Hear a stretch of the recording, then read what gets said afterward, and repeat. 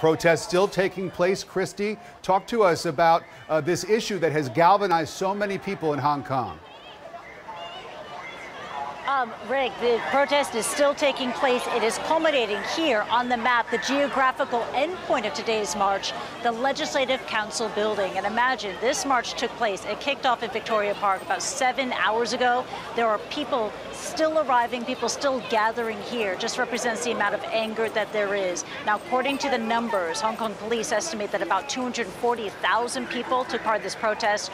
Organizers claim that 1 million people plus took part in today's march. As evidence, and you saw that sweeping aerial video, this international city, this international financial hub being brought to a literal standstill earlier today because of the sweeping size of today's protest. Now, at issue here is this controversial extradition bill that would allow the extradition of suspected criminals into additional jurisdictions. Now, the Hong Kong government says it's necessary to cover up a legal loophole that exists. But you talk to the protesters here, and many critics of the bill, they don't buy it. They say that this extradition bill, if passed, it would allow the extradition of critics of Beijing into China, and once there, they would not be allowed to have a free or fair trial. Now, the protests today, although very massive in scope, have been relatively peaceful.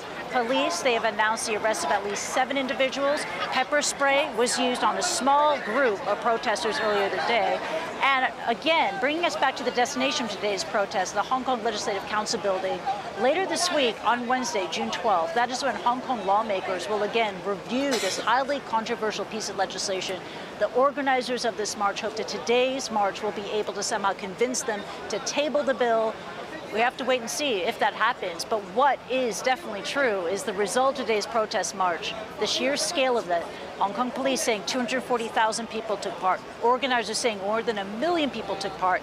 This was an event that surely captured the world's attention.